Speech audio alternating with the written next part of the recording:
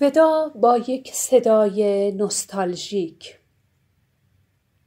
شهروز ملکارایی دوبلور و بازیگر و خواننده با سابقه در سن 81 سالگی درگذشت.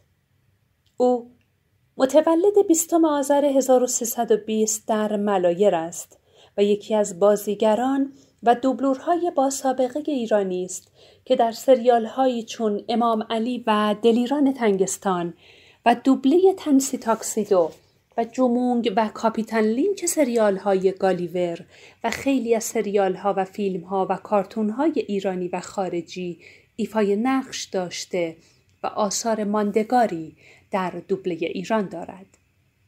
از نقشگویی های برجسته و محبوب وی می توان از شخصیت کاپیتان لینچ در کارتون ماجراهای گالیور، جان کوچولو در رابین هود و آقای وپی در کارتون تنسی تاکسیدو اشاره کرد. استاد ملکارایی از سال 1330 وارد عرصه هنر و بازیگری شد. او که دانش آموخته جامعه موسیقی باربود است، پس از ورود به تهران به اسماعیل مهرتاش جهت حضور در فعالیت های فرهنگی هنری جامعه تئاتر باربد معرفی شد و پس از مدتی فعالیت در زمینه فرهنگی هنری وارد عرصه دوبله گردید.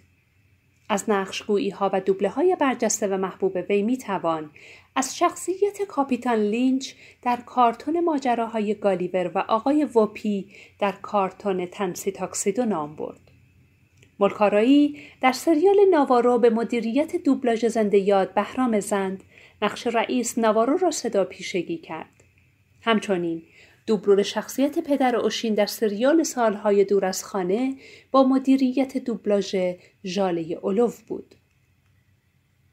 شهروز ملکارایی 29 دی ماه 1401 در بیمارستان بهمن تهران چشم از دنیا فرو بست. روحش شاد و صدایش ماندگار.